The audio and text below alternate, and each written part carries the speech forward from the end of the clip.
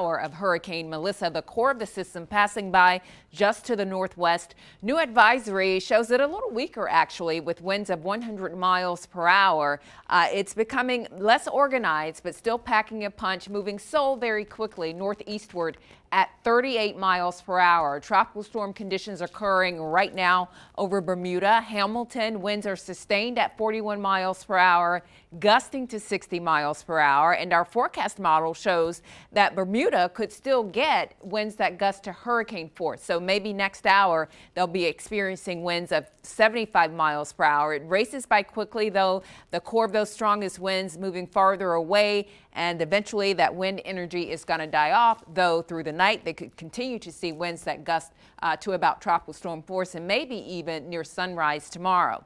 But this system is going to continue to track northeastward, category 2 now, category 1 tomorrow, and then overnight Friday could get close enough to the Avalon, Avalon Peninsula of Newfoundland to bring some gusty winds there. But it's on its way out over the far reaches of the North Atlantic where it loses its tropical characteristics and eventually it's going to die down.